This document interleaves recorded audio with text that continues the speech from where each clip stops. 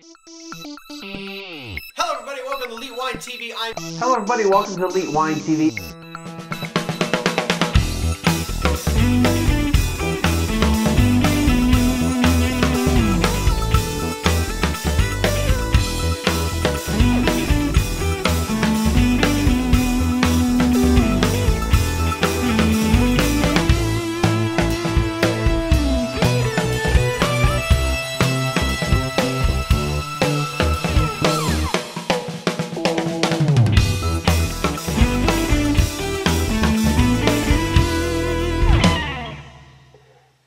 Everybody. Welcome to Elite Wine TV. I'm your host, Mark Fusco, here for another episode of the show. Continuing with the French wine part, uh, we have another Bordeaux wine. So we're back to Bordeaux um, instead of in Burgundy. So um, this wine we have here is the 2005, which um, everybody knows was like the best vintage in the freaking world for Bordeaux in the past, I don't know, ever. It seems like, so, depending on who you talk to. It's a really good vintage. I'm not trying to make light of it, um, but you know, as far as the most recent vintages, this is like the vintage to like make sure you have. Um, so 2005. That's why I bought it. Um, Les Fifs de la Grange. Now, this is from the Saint Julien part of Bordeaux. This is not to be confused with uh, the other other Lagrange, um, uh, which is the uh, it's in Pomerol. I was like, I, I almost said Pomard. I'm like, no, that's the last one I just did. Pomerol. Not to be confused with Lagrange and Pomerol. Okay, they're not related, they're not associated. They just have to have the same name. All right. Um, anyway, so this is uh, a second wine. Um, no, it's not. It's not a second wine. This uh, this particular, I have a second wine coming. Not yet, but it's in a few more episodes. Uh, anyway, this is a third growth from Bordeaux. Uh, Saint Julien. Now, this is the same appellation that uh, uh, Beychevelle is in, where I had um, uh, visited, and just just south of Pauillac in the Bordeaux area. Uh, as far as the uh, wine makeup, it is a 75% Cabernet Sauvignon, 23% Merlot, and 2% Petit Verdot. Uh, bought this at Nicolas. No. I bought this. Yes, I bought this at Via Vinum uh, for 25 euros. That equates to $34.44 in today's dollar. Um, let's see. Yeah, that's it. It already smells pretty darn good from what I can smell of it. Um, what was I going to do? Oh, that was just the, um, yeah. a little bit about the vintage. Harvest the harvest in red started on 21st of September and ended on October 19th. They used 100 pickers. And I'm not going to go through the rest. But anyway, they say ready to drink 2015. So we're drinking it a little young. Uh, they said that prime should be 2025 to 2020 to 2025. So basically, these are wines that are meant, you know, you, yeah, I guess you could drink it now. I mean, it's a few years later, but Ideally, you want to wait, I guess, according to them, 10 years before you start drinking it. But hey, I bought it now. I'm going to drink it now. Oh, let's check out. So, um, viscosity, pretty medium on the viscosity. Color, um, darker red. Um, very similar in color to this, but darker. So really not really similar, is it? Um, it's almost the same color as the the capsule there. Very much, very similar to that color. All right, let's check it out.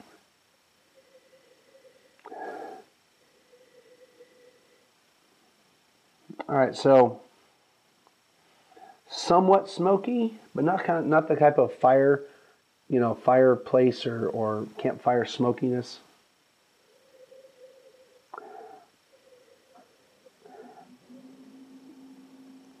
Getting hints of red fruit.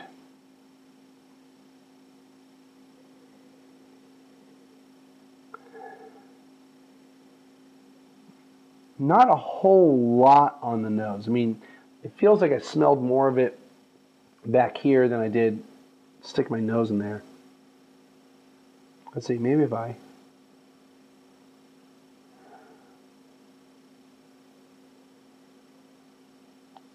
know, basically, touch of smoke, you know, a little bit of minerality, I guess, and some red fruits.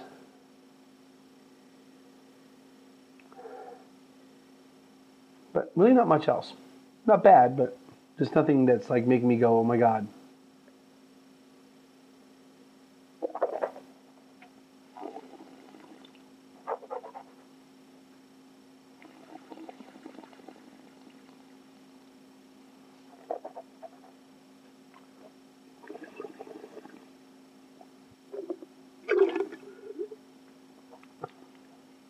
I always get too much on the first sip. All right, so a little bit of alcohol in there. It's a 13%, but it feels a little bit, a little hot, like it's not really contained. So if it aged a little more, it might, it might calm down a bit. Um, red fruits, I mean, predominantly, I, I kind of get that. I want to really say strawberry cherry type of, of fruit from it. A touch of cream, not too much.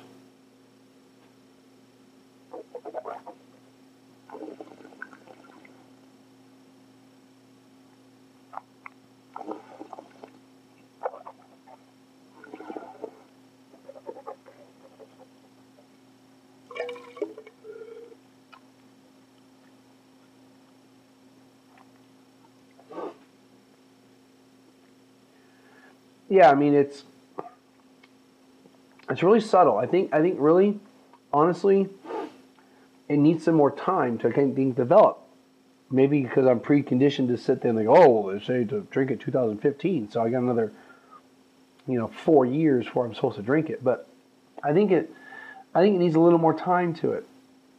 It's not bad. Matter of fact, I, I like it. Um, but I just don't really get a whole lot out of it. I think it's it's pretty tight. It's very closed. I mean, if I decanted it, it probably would open up a lot more. I mean, the bottle was open six hours ago, maybe even longer. Yeah, this thing's been open for like eight hours, which is not bad. You know, it's okay for wine, but you know, again, remember it's not much aeration from a bottle.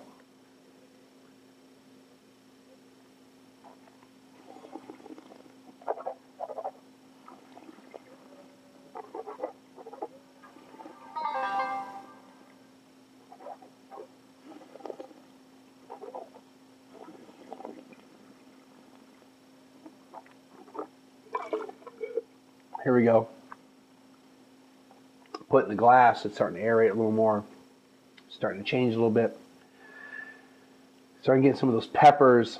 Uh, it's not it's not that there's Cab Franc in it. Um, the next one has Cab Franc in it. Um, so it's not like the, oh my god, this is Cabernet Franc, I got all the peppers, but I'm getting a little hint of pepper with it. It's getting more of a, um, uh, the fruit pie aspect. It, it's opening up. So again, there's more surface area going involved. You know, involved. I bet if I decanted this wine uh, some night, let it aerate for a couple hours more, um, it's going to really open up, and it, it, it just kind of it kind of jumped up a little bit on, on the um, on the point scale.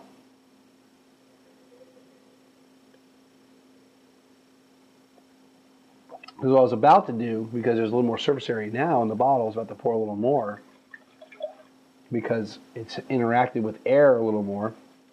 Because sometimes the very first pour doesn't yield the best, the best um, showing of the wine, as I've seen in the past. And there you go. Now I'm really starting to get a little more. I'm getting earthiness now. This is becoming much better wine. I'm glad I didn't just, you know, okay, let's move on. Inside of 10 minutes, it's changed. Yeah, I'm getting more just like the dirt, soil, earthiness, I guess mushroom type of stuff. Um,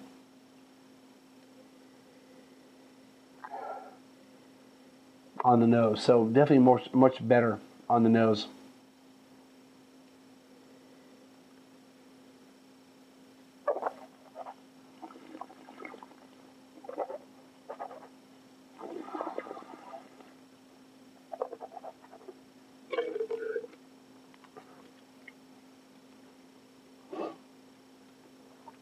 more of the pepper type of stuff coming through.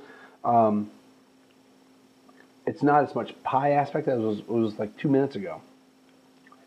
I'm getting the, it's more on the back end. I'm getting the, the fruit, the fruitiness, you know, the cherry type of more strawberry than cherry. Much better now.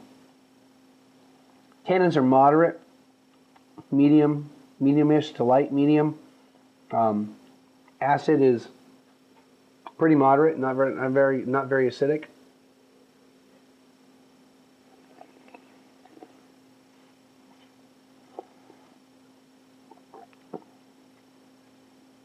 It's starting to settle now, starting to calm down a bit. Very good. I'm deciding whether I want to give it a 90 or an 89. Well, that's only one point. Really, does it matter? I mean, is 90 really that much? We, we, we tend to think 90 is just so much better than 89. But 89 versus 88, it's only a point, right? Giving it a 90. I really like it. I really like it a lot. And I think if I decanted it for a couple hours, it would be phenomenal. No, yeah, be really good. I like it a lot.